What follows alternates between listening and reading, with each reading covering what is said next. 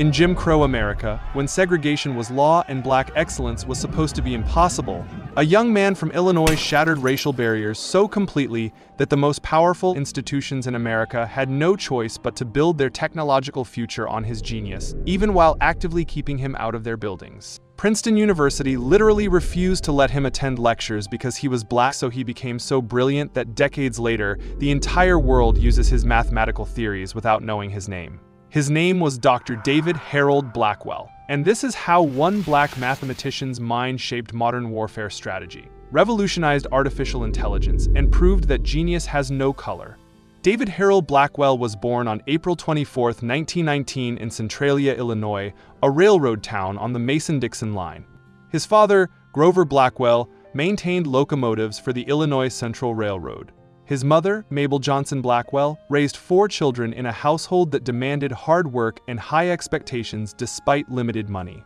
From his first days in elementary school, David understood numbers better than most adults understood English. Math was pure logic, where skin color meant nothing, where a problem only cared if your answer was right or wrong. His teachers promoted him twice, skipping him ahead while other kids his age struggled with basic multiplication. Centralia had three elementary schools, one for white kids, one for black kids, and one integrated. David attended the integrated school, which meant he didn't fully understand how racist Southern Illinois was until later. High school changed everything when he met Caroline Luther, who taught geometry. He didn't care much for algebra or trigonometry, but geometry captivated him with its concept of helping line, a single strategic line that could make an impossible problem solvable. He joined the math club, solved problems from School Science and Mathematics magazine, and got his name published. At 16, David graduated high school wanting to become an elementary school teacher. That was his ceiling in 1935 because black kids were told they could teach at black schools if they were lucky. But his professors at the University of Illinois saw more.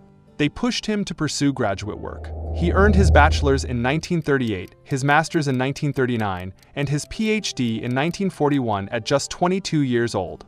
His dissertation on Markov chains was brilliant work that typically takes years longer. David became the seventh African American in U.S. history to earn a PhD in mathematics. He received a prestigious Rosenwald postdoctoral fellowship at the Institute for Advanced Study in Princeton, New Jersey, one of the most elite academic institutions on Earth where Einstein, Gödel, and von Neumann worked. Members of the Institute automatically became visiting fellows of Princeton University. Everyone got this designation automatically, everyone except David. When Princeton's president discovered the Institute was listing a black man as a fellow, he objected that they were abusing the university's hospitality. Princeton refused to let David attend lectures, blocked him from research facilities, and tried denying him basic privileges every other fellow received automatically. David's thesis advisor, Joseph Doob, fought behind the scenes just to get David library access. David didn't even know most of this was happening because he was focused on his research. He only discovered years later how hard they'd tried to exclude him. John von Neumann, the legendary mathematician considered the father of game theory, requested a meeting after reading David's dissertation. David thought it was a joke. He couldn't believe someone that famous would care about a young black graduate student's work. When they finally met, David explained his thesis for 10 minutes. Then, in David's words, he listened for 10 minutes and then he started telling me about my thesis. Von Neumann understood David's work so deeply in 10 minutes that he could explain it back with additional insights. After his fellowship ended in 1942, David sent out 105 job applications, all to historically black colleges because he understood the reality. Black professors could only teach at black colleges. But there was one exception. Jerzy Neyman, a renowned statistician at UC Berkeley, interviewed David and supported his appointment. The mathematics department head, Griffith C. Evans, initially agreed and convinced the university president to hire him.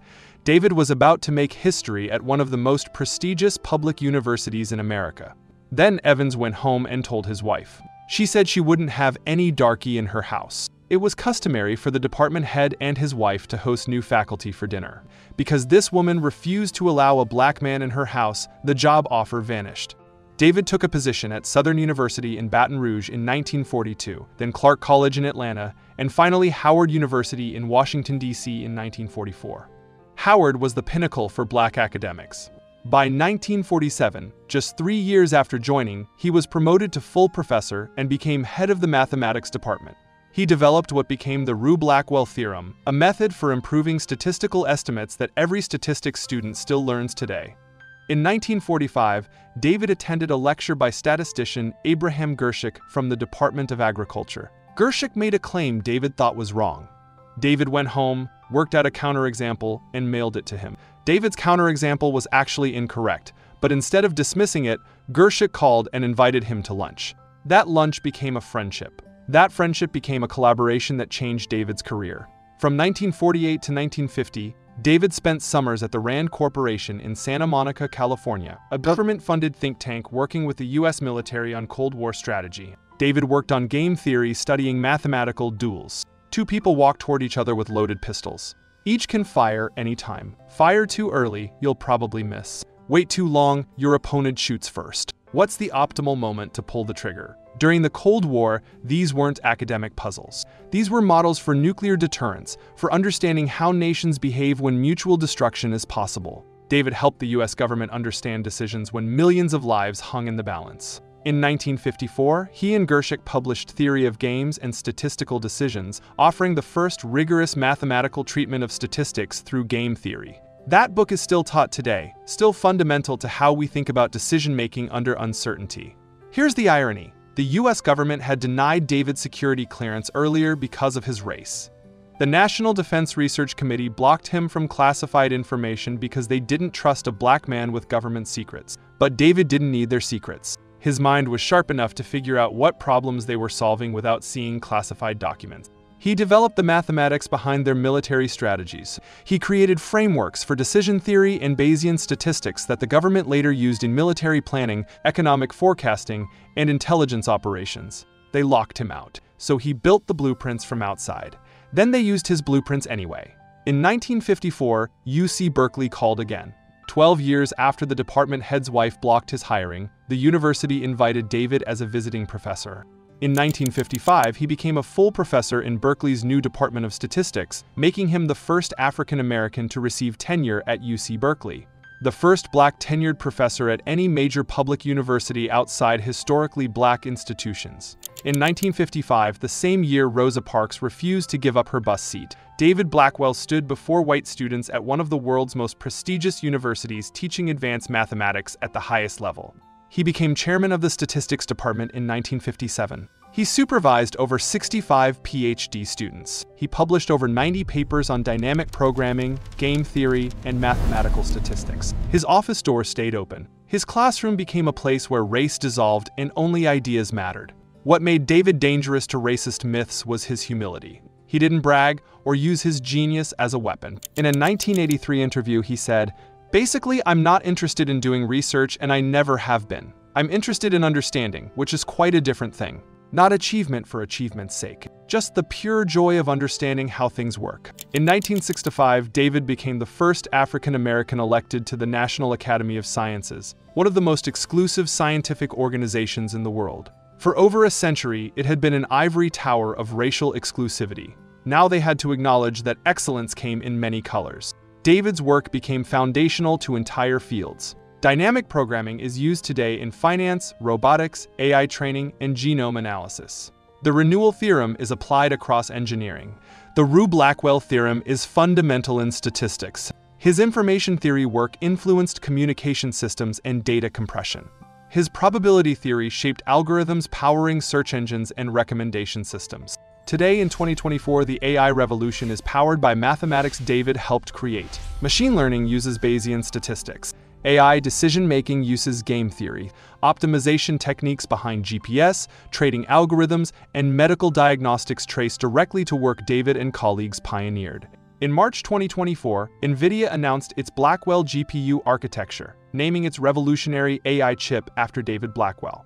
This GPU trains the massive AI models changing civilization. It bears the name of a man once told he couldn't attend Princeton lectures because he was black. The Pentagon uses algorithms based on his work. Silicon Valley trains AI with methods he developed. Tech companies worth trillions rely on mathematics he created. For decades, most people using these systems had no idea who David Blackwell was.